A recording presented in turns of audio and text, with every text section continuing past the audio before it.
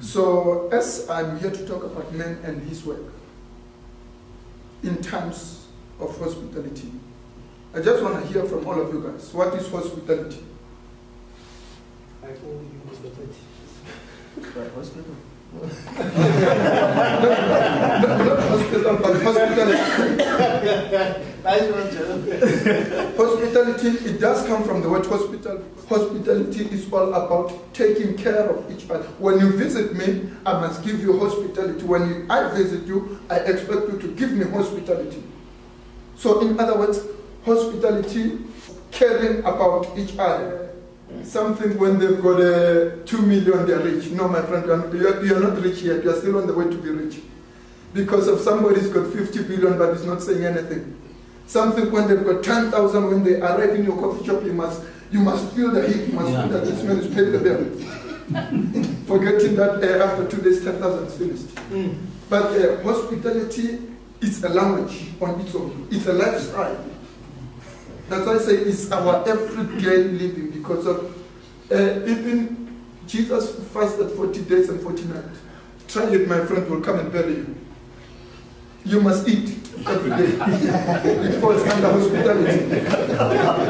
You must bath every day. It falls under hospitality. You must interact with people. It falls under hospitality.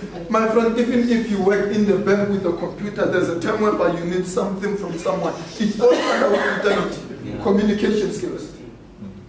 A man who can cook in the kitchen, it's a man who can cook in the bedroom.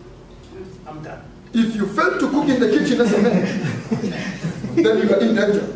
If you fail to surprise your wife in the kitchen as a man, uh, but no problem about it, a way to a man's heart is through his uh, tummy.